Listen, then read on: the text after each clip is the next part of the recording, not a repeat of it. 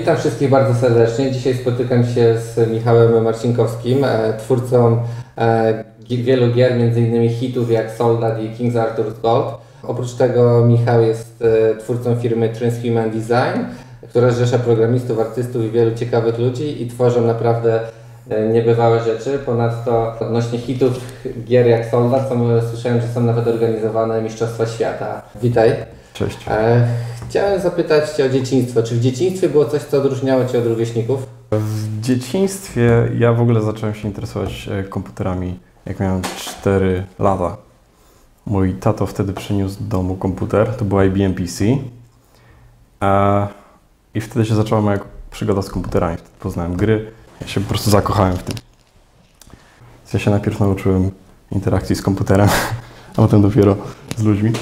Jeszcze jedna rzecz taka mi się przypomniała, jak mi zadałeś to pytanie, to mm, pamiętam jak y, mój tato zlecił mnie i mojemu bratu mycie samochodu za pieniądze. Mieliśmy chyba 6 czy 7 lat. I zlecił nam mycie samochodu za pieniądze. Ja pamiętam, że z pół godziny myłem ten samochód i się w końcu wkurzyłem i stwierdziłem, że nie chcę tego robić. nie będę tego robił za pieniądze i poszedłem do komputera coś tam robić przy komputerze. I, I od tego czasu tak naprawdę nigdzie nie pracowałem dla nikogo. Jakby to mnie odróżnia całe życie. Nigdzie, nigdy nie miałem szefa, nigdy nie miałem, poza tym jednym momentem. A czy już wtedy powstała u Ciebie, zrodziła się pasja do tworzenia gier, czy, czy to było później? Znaczy ja nie wiedziałem, że można robić gry, nie? Miałem 4 lata, gdy zacząłem grać. I tak, tak to trwało parę lat. Wtedy tak naprawdę na PC było bardzo mało gier, więc ja się zacząłem nudzić tymi grami. E, I mój tato zaczął programować na tym komputerze. On chyba po to ten komputer przyprowadził do domu, żeby, żeby programować tam. Więc jakieś tam książki miał o programowaniu. Ja podpatrzyłem, że rzeczywiście coś takiego można zrobić. I on miał taką książkę, gdzie były, gdzie były kody źródłowe, po prostu napisane na kartce kody źródłowe gier. I te kody źródłowe można było przepisać e, do kompilatora i odpalić i miałeś nową grę. Ja to zobaczyłem i miałem chyba 7 lat i przepisałem z tych kartek ten kod źródłowy i zobaczyłem, jest gra. I dla mnie było to coś magicznego, że mogę, mogę coś wklepać, jakieś, jakieś, jakieś kody, jakieś literki i nagle mam grę. I mogę tak, mogę tak naprawdę sobie wymyślić, co tylko chcę, e, napisać to jak jakieś zaklęcie i, i jest. Czy później w szkole e, bardziej rozwinąłeś te umiejętności? Czy szkoła dała Ci e, e, jakieś umiejętności tworzenia gier, czy raczej przyszedłeś już i Ty ich uczyłeś? Nie, nie wydaje mi się, żeby szkoła z, jakby z programu nauczania cokolwiek mi dawała. Ja się starałem rozwijać e, różne rzeczy. Przez całą podstawówkę tak naprawdę rysowałem. E, potem w liceum tak naprawdę przysiadłem przy programowaniu i zacząłem programować, też się zacząłem muzyką interesować. I myślałem o tym, jak, jak robić gry i potem w domu zamiast odrabiać lekcje, to też e, albo grałem, albo robiłem gry. A skąd pomysł na grę Soldat i jak długo zajął Ci się, jak długo zajęło Ci tworzenie? Pomysł sam Soldat zrodził się, gdy byłem w trzeciej klasie liceum. I my w tym czasie z kolegami w sali informatycznej bardzo dużo graliśmy w taką gierkę, która się nazywała Liero. To były takie dwóch, dwóch graczy siedziało przy jednym komputerze i takie robaczki ze sobą strzelały i po prostu każda przerwa graliśmy w, graliśmy w Liero. Strasznie nas to rajcowało. E, ja wpadłem na pomysł, że kurczę, zrobiłbym to lepiej. Zrobiłbym, żeby kilka, kilkadziesiąt osób mogło grać i, się tam walczyć ze sobą. I zamiast robaków też pomyślałem, że lepiej by było, gdyby to byli żołnierze. I, i, i ileś tam tygodni czy miesięcy pomysł kiełkował. W końcu z, znalazłem sposób, jak to zrobić, jak to zakodować. I wtedy już poszło mi bardzo szybko. To był, to był rok 2001, jakoś listopad. I chyba w miesiąc zrobiłem pierwszą grywalną taką wersję, że można było już z kolegą po sieci pograć. I, i, i potem już bardzo szybko poszło. To, to, to był prawie natychmiastowy hit.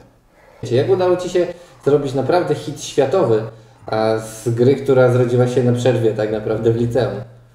To, to nie było zamierzone, tak? Ja nie, nie usiadłem gdzieś, gdzieś w biurze i nie wymyśliłem, kurczę, co tutaj zrobić, żeby zarobić kupę kasy i żeby był hit. Ja tak nie myślałem. Ja myślałem o tym, żeby zrobić gierkę tak naprawdę na swoje potrzeby. I myślę, że w tym jest jakaś metoda, że robisz coś, masz jakąś potrzebę, e, powiedzmy, ja chciałem taką konkretną gierkę z kolegami pograć. Tak naprawdę w sali informatycznej nie myślałem o całym świecie.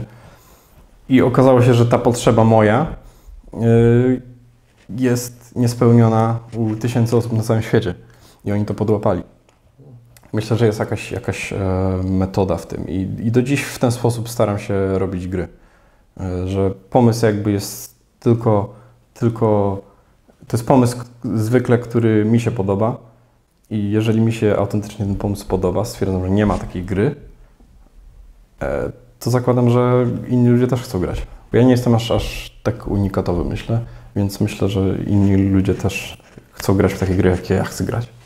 No, udało Ci się kolejną grę stworzyć, King. Arthur's Gold i też jest hitem, więc Właśnie. Wydaje mi się, że masz duży talent, bo jednak wiele osób tworzy gry, a nie osiąga sukcesu. Chciałbym b- był ostrożny z tym słowem talent. e, To jest słowo, które bardzo, bardzo demotywuje według mnie. Jest przypadek, jest ciężka praca, jest, jest, jest coś, czym trochę jesteśmy lepsi, jest, trochę mamy predyspozycje do pewnych rzeczy, ale tak naprawdę talenty to jest, to jest wypracowane. Tak. Są badania nau- naukowe na ten temat. To jest, to, jest, e, to jest efekt wielogodzinnych ćwiczeń, talent. A gdzie młodzi e, twórcy gier e, mogą szukać wiedzy, inspiracji, ale też e, pomysłów na, na, na, na swoje produkty? Kiedy ja zaczynałem, to tak naprawdę było mało źródeł. Internet dopiero, dopiero co powstał. Znaczy, kiedy już powiedzmy w czasach Solda, internet raczkował. Było bardzo mało źródeł. Natomiast dzisiaj to jest po prostu internet, mamy Google, mamy, mamy wszystko, co potrzeba. Jest bardzo, bardzo łatwo wejść w tworzenie gry. Wystarczy pros- proste wyszukanie w Google'ach i, i znajdziemy bardzo dużo źródeł. I bardzo dużo osób też zaczyna robić właśnie gry. Jest bardzo, duży, bardzo dużo osób, e, co mnie bardzo cieszy też. Dużo gier powstaje, dużo teamów powstaje, bardzo dużo osób chce się tym zajmować. Nie jest to trudne e, się dowiedzieć czegoś na ten temat. Więc jeżeli ktoś jest powiedzmy zagorzałym graczem i gra 24 godziny na dobę, bardzo dobrze. To jest myślę, to jest ten kierunek. to jest ta autentyczna pasja, bo potrafię wysiedzieć nad tym. I zwykle podczas grania pojawia się jakiś pomysł na grę. Gramy w jakąś grę, ona nam nie do końca pasuje, mamy jakieś lepsze pomysły na zrobienie tego. E, e, u mnie tak to zwykle się dzieje. Co powinna zrobić osoba, która chciałaby zająć się tworzeniem gier? No. Od czego może zacząć? Mówiliśmy o tym internecie, czy jest jeszcze Tak. coś?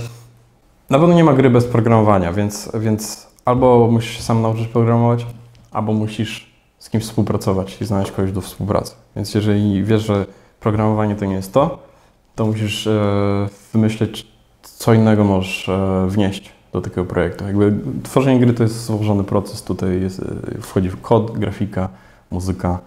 E, wreszcie ktoś musi to ogarniać, ktoś musi ogarniać też społeczność, ktoś musi ogarniać marketing.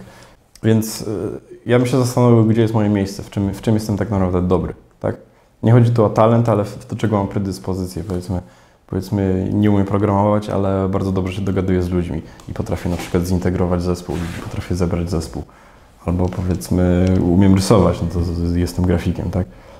A jak e, znaleźć długofalową motywację do działania? Wiemy, że wiele osób e, jest na początku zapalona pomysłem, a później ten pomysł jednak upada, ponieważ no, jest brak tej wytrwałości. Kiedy zaczynamy cokolwiek tworzyć, zaczynamy tworzyć tą grę, e, to niestety przez pierwszy rok, dwa, trzy, to co będziemy tworzyć będzie zwyczajnie do dupy. To będzie, to będzie kiepskie. Po prostu zaczynamy.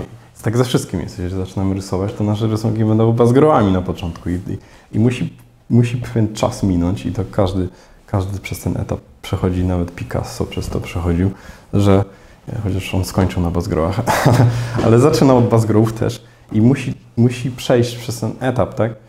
E, tego, że ja wiem, że to, to jest kiepskie, ale mimo wszystko to robię. I myślę, że to jest, jeżeli już szukamy jakiejś cechy ludzi sukcesu albo ludzi, którzy znajdują tą długofalową motywację, to, to, jest, to jest taka cecha, że, że okej, ja wiem, że to, co robię, nie jest najlepsze, ale też wiem, że to jest tylko krok do mojego celu. Ja wiem, że za, za miesiąc, za rok, za dwa to będzie lepsze, jeżeli codziennie będę to robił. I tak naprawdę to jest sztuka nie patrzenia na, na rezultaty tu i teraz, ale myślenie o, o przyszłości, do czego to prowadzi. A jakimi kryteriami można się kierować, powinno się kierować dobierając zespół? Ja w ogóle mam bardzo niestandardową metodę zatrudniania ludzi. E, ja nigdy nie brałem żadnych CV, nigdy nie rekrutowałem nikogo e, oficjalnie. E, wszyscy, z którymi pracuję, to są tak naprawdę moi znajomi albo znajomi znajomych. Tak naprawdę są to ludzie, z którymi wypracowałem relacje przez, przez lata. Chyba tylko z jedną osobą pracuję, którą, która jest z ogłoszenia. Wszyscy inni to są albo moje relacje, albo ktoś po prostu któregoś napisał mi maila i stwierdził, że chce ze mną pracować, bo mu się podoba to, co ja robię. I ja mówię, okej, okay, dobra. Jeżeli komuś się podoba to, co ja robię i sam z własnej woli chce ze mną pracować, to to jest dla mnie już, już idealny pracownik. Dlatego, że on już, już jest na, wstępie, na wstępie zmotywowany. Ja przez wiele lat, e, nawet e, nie mając pieniędzy, współpracowałem z wieloma ludźmi, nikomu nawet nie płaciłem i współpracowałem z ludźmi, dlatego że po prostu chcieli, chcieli ze mną pracować bo widzieli w tym coś, coś fajnego, tak? Jak po takim stworzeniu gry czy produktu można ją rozreklamować? Trzeba, żeby ujrzał świat, tak? Rozumiem, że u Ciebie z, no, z dnia na dzień zaczęło to społeczeństwo przybywać, ale czy, czy było coś, co, co, co, co zrobiłeś, żeby reklamować tę grę? Są według mnie dwie, dwie metody marketingu. Pierwsza to jest Mm, po prostu wydać milion dolarów na, na reklamy w telewizji, w prasie, wszędzie. Po prostu wcisnąć ludziom produkt, tak? Widzimy, że to się dzieje na co dzień. Włączymy radio i nam wciskają produkty. A druga metoda jest zupełnie z innej strony. Robimy to zerowym budżetem. I, I, nie wiem, która metoda jest trudniejsza. E, mi, się mi się udaje tak naprawdę z każdą grą e, metodą zero budżetową tak naprawdę osiągać rezultaty. I żeby to zrobić, żeby gra tak naprawdę sama się rozreklamowała bez żadnego budżetu i, i z minimalnym tak naprawdę wkładem, bo ja coś tam robię, ale to jest, to jest tak naprawdę bardzo minimalny wkład, bo to nie jest cały zespół marketerów czy coś. Więc y, pierwsza rzecz to jest gra, którą tworzę, musi być po prostu dobra. Jest, nie, nie, ma, nie ma o czym mówić. Jeżeli, jeżeli zrobię coś kiepskiego, to nikt nikomu tego nie poleci. Jeżeli gra jest dobra, to, to kolega koledze powie, hej, zobacz, to jest fajna gra, zagrajmy razem. To jest ten tak zwany marketing szeptany. Druga rzecz, to co robimy musi być oryginalne, musi być unikalne. Jeżeli zrobimy coś, co już było, co już jest, to nikogo nie pochodzi. A, a trzecia rzecz, trzecia rzecz oczywiście szczęście, ale lepiej o tym nie myśleć. A trzecia rzecz to są takie, takie bardzo, bardzo praktyczne rzeczy, które mógłbym opowiadać. Ja na przykład moje gry pierwsze reklamowałem w ten sposób, że po prostu wypuszczałem je do internetu i wchodziłem na przykład na forum e, gier, bo każda gra ma jakieś tam forum, jakąś społeczność i tam dyskutują o tych grach. Wchodziłem na forum gry podobnej do mojej gry, bo wiedziałem, że jeżeli oni robią, lubią takie gry, to moja też, ponieważ jest tam w jakiś sposób podobna, może też im się spodobać i mówię im, hej, zobaczcie, robi coś takiego. To jest zupełnie inne, ale podobne też Wam się, może się spodoba.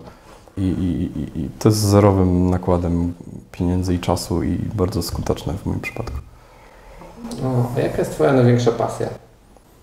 Moja największa pasja to jest w ogóle powód, dla którego to robię, to jest inspirowanie.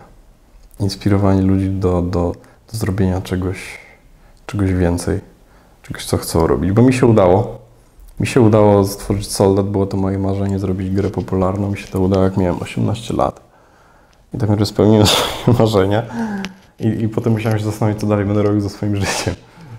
Nie to, że miałem jakieś super pieniądze z tego czy coś, ale po prostu spełniłem to marzenie, tak? Jakby pracowałem wiele lat nad tym, żeby stworzyć grę popularną, w którą będą ludzie grali na całym świecie. Udało mi się to i co dalej? I teraz stwierdziłem, że okej, okay, chcę, żeby inni też to mieli i daje mi to dużą radość. Bardzo dużą radość mi daje przekazywanie wiedzy, dzielenie się doświadczeniem, jeżdżę na zjazdy twórców gier, e, robię wykłady, mówię jak ja to robię. Też, też bardzo podoba mi się udzielanie takiego wywiadu, bo może ktoś na tym skorzysta. Bardzo mnie to cieszy. Tak? Też, też pracuję z ludźmi, dlatego że chcę im pomóc wdrażać ich pomysły na grę.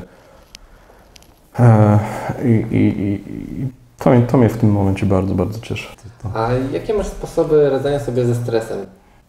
Gram na gitarze elektrycznej, słucham metalu, chodzę na koncerty. Tam się mogę wyżyć. Medytuję, yoga. Ostatnio zacząłem jogę ćwiczyć dość regularnie. Przede wszystkim dystans też. Jakby te wszystkie aktywności prowadzą do takiego dystansu, że tak naprawdę to nie jest najistotniejsze w życiu. są rzeczy ważniejsze niż ta gra, czy ta gra, czy, czy to, co robimy, czy, czy, czy konkretny rezultat i tak dalej. A czy jest jakaś książka, którą chciałbyś polecić e, widzom? Mm, nie wiem, tak mi przychodzi do głowy Napoleon Hill. I po angielsku to jest Think and Grow Rich. Nie wiem, czy kojarzysz. Tak, słyszałem. Polski tytuł jest y, Myśli bogać się. E, To jest na pewno książka, z którą absolutnie się zgadzam co do, co do jej przesłania, że mm, to jest też coś, co pewnie odróżnia ludzi sukcesu, że potrafią sobie coś wymyśleć, jakiś cel i każdym sposobem do tego dotrą. Że nie ma, nie ma siły, by tego nie osiągnąć. Czy jest coś, co chciałbyś przekazać widzom? Chcę powiedzieć, że kierowanie się pasją na pewno, na pewno jest, jest dobre. Natomiast radzę na to uważać. Nie każda pasja jest, jest, jest super. Ja na przykład moją pasją jest, jest muzyka, ale niekoniecznie zajmuję się tym zawodowo, bo, jak, bo nie jestem też w tym najlepszy. Więc radzę, jeżeli już mam coś mm, naprawdę dobrą radę dać, która jest fajna, to jest znaleźć, co nas pasjonuje, znaleźć, w czym jesteśmy dobrzy i znaleźć e, co tak ludzie, czy ludzie to będą chcieli, czy kto kupią. I tak połączyć te trzy rzeczy i znaleźć e, punkt wspólny tych rzeczy, czyli w czym jesteśmy dobrzy, e, co jest naszą pasją i co ludzie będą chcieli od nas. I, i, to się sprawdza, to się sprawdza w moim przypadku i jeżeli ktokolwiek myśli o zrobieniu czeg- czegoś, czegoś właśnie, to e, fajnie jest się kierować tą zasadą. Dziękuję bardzo, bardzo miło było gościć Cię w programie.